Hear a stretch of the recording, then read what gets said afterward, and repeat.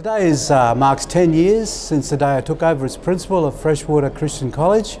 It's been an incredibly amazing journey and to see the school get to where it is from where it was 10 years ago, it's been a great blessing and as I come to that point of transitioning out of the school, I really have great expectation for the future regarding our new principal, Mr Doug Holtom.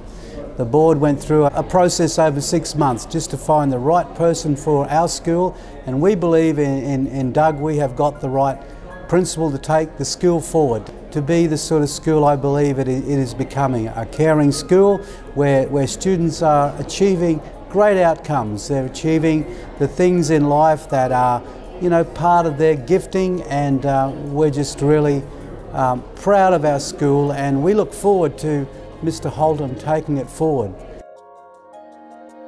Hi, I'm Brendan Giles. I'm a board member here at Freshwater Christian College. I'm also a pastor at C3 Church and it's just a, an absolute honour to welcome Doug as the principal of Freshwater Christian College uh, from 2018.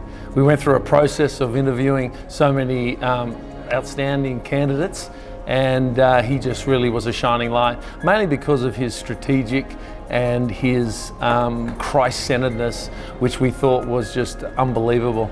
And uh, really looking forward to having uh, such a great man of God, a guy that loves the Lord, um, is focused, and he just wants to help kids to shine to their potential. So as a parent here too, I've got four kids here, um, I just think it's an absolute blessing that we can have a principal that is so Christ-centered, that worships the Lord, and is going to do a fantastic job at Freshwater Christian College.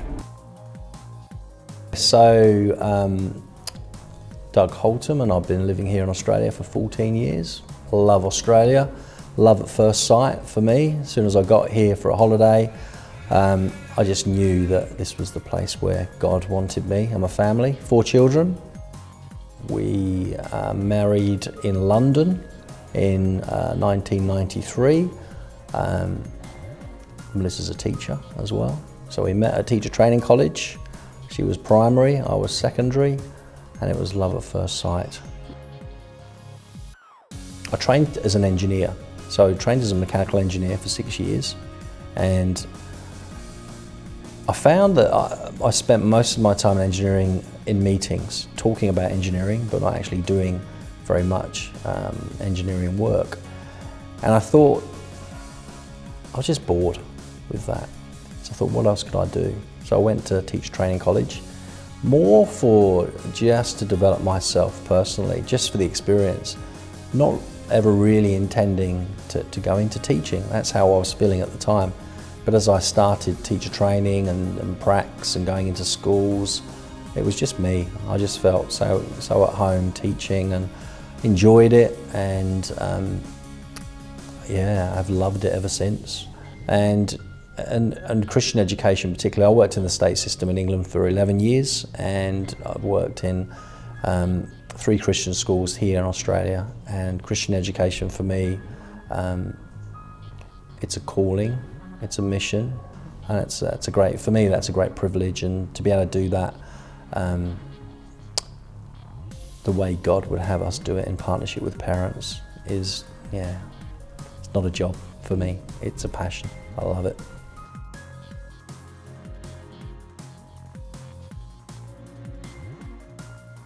I believe that the school's in good hands going forward.